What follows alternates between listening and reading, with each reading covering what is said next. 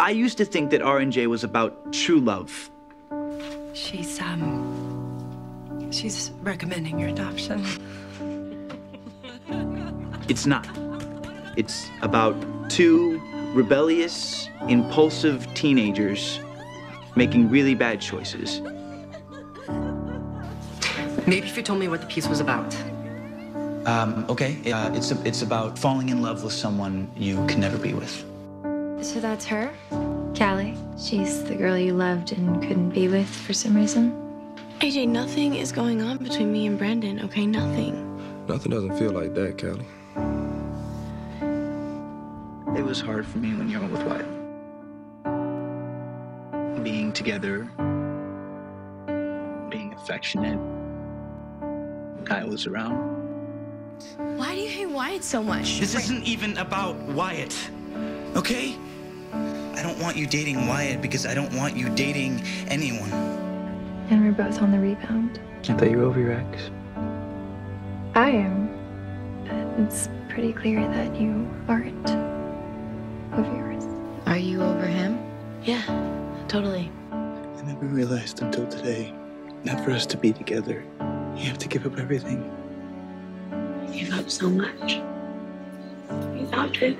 I would give up the tour and just about anything else for you to be a part of this family. Don't you get that by now? No matter what, they, they can't make you live with them. We'll still be your family. I Wanted to make sure you had everything you needed. You shouldn't have done that. I would have done anything to help you. I still will, because you do know who I am. I already know everything I need to know about you. How is this easy for you? It's not easy. I'm sorry. And it hurts you. Okay, it hurts me too. He's obviously trying to protect her. No, I'm not. I wanted to hurt her because she hurt me. If there's one thing that could make me blow this all up, it's knowing that I'm hurting you. Am I? I'm hurting you? You suffered. I know you hurt. We weren't there for you about Callie. I see now that your heart was broken, and I should have been there. I should have been more understanding. You've always been so warm and welcoming to all the kids that we've brought in this house. It just never occurred to me that you might not actually be okay. I'm sorry. Well, sorry doesn't hack it. Can't help how I feel. Where is this coming from, Brandon? I was Still in helping. love with you. Don't.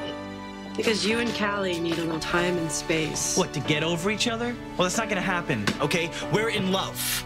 And in keeping us apart, it's not gonna change that. The guy you told me about, the one you loved. Was it Brandon? Why do you say that? Your eyes light up when you talk about him. What about Brandon? What about Brandon? Do you love him? I don't know. I don't know. I can't. I can't love him now. It's just wasn't meant to be. None of it. I guess it's meant to be.